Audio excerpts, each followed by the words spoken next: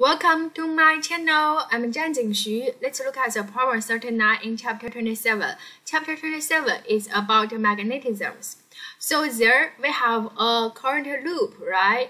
And are some quantities given as uh, how much turns 15 and then um, the cross-sectional areas we can find by the diameter, right? The diameter is given there and also the current is given and there you can see the magnetic field is given, but it's in vector format, right? In vector format.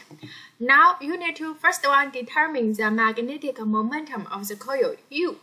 So how can you get the U? As we can write the function for U for mu as the vector format, right? This is NIA. You can say A has a direction. As this one, did tell you it's a clockwise, right? So it's a negative k direction. So you can input all the given quantities, get answer there. The next one asks to find the torque on this coil. So how can you do that? You can also check your textbook. You have the function for torque. As we can see, the torque is mu cross B, right? Mu cross B. This is a for vector format.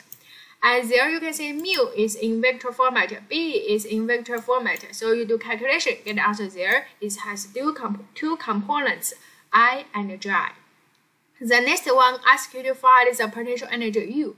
So this one is also you can get from your textbook. This is a negative mu dot B, right? So mu is a vector, B is also vector. So do the vector operation, you get the answer there. Thank you.